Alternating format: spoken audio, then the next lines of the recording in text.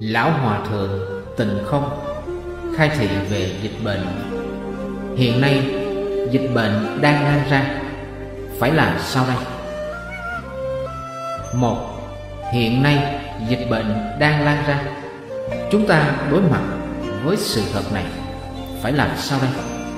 Phật Bồ Tát dạy chúng ta, Đầu tiên phải định tâm lại, Không nên hốt hoảng, Không nên sợ hãi Hai Nếu như dịch bệnh thực sự truyền khắp khu vực này Thì việc tốt nhất là không ra khỏi cửa Ở trong nhà mà tu tâm thanh tịnh. Đây là việc rất quan trọng. Tâm địa nhất định phải thanh tịnh. Tâm thanh tịnh có thể miễn dịch Sẽ không bị truyền nhiễm. Ba Nghe giảng kinh, đọc kinh, niệm Phật, đoạn ác tu thiện đó là trị tận gốc Vì sao vậy?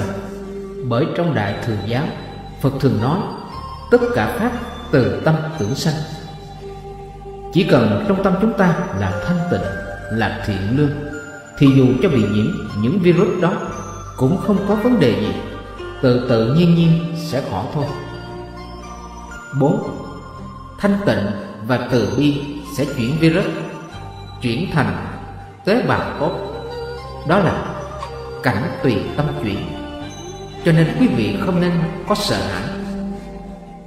Nếu quý vị có sợ hãi, Thì quý vị sẽ bị bệnh hù dọa chết. Năm, Bình thường là phải dưỡng tâm thanh tịnh, Dưỡng tâm từ bi. Đó chính là tăng cường khả năng miễn dịch của chính mình. Mà người hiện nay nói, sáu, Chúng ta niệm kinh làm những hoạt động siêu độ, những pháp hội tiêu tan. Đó là trị phần ngọn, không phải trị tận gốc. Có hiệu quả hay không? Có hiệu quả. Có thể giảm tai nạn này đi một chút. Có thể đẩy lùi tai nạn này về sau một chút, chứ không thể dập tắt được. 7. Làm thế nào trị cả tận gốc lẫn ngọn?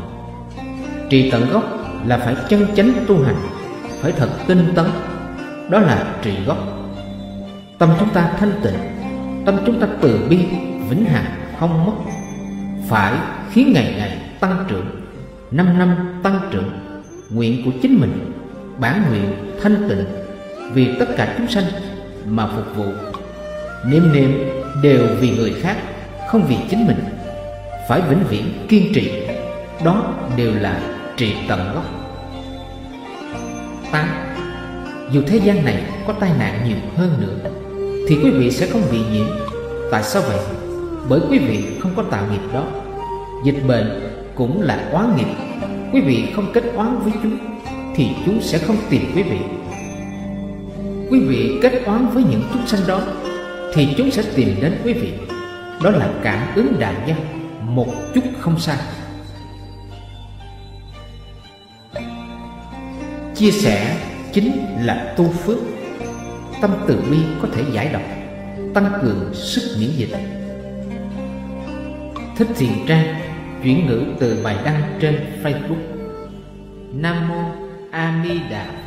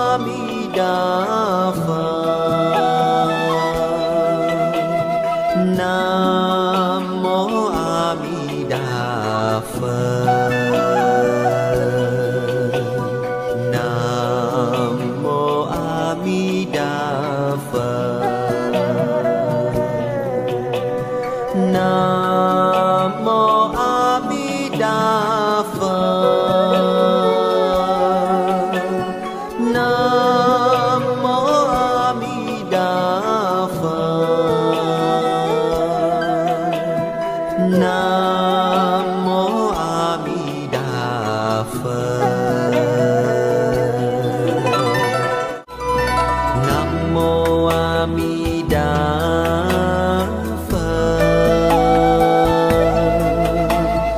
Nam mô a di phật. Nam mô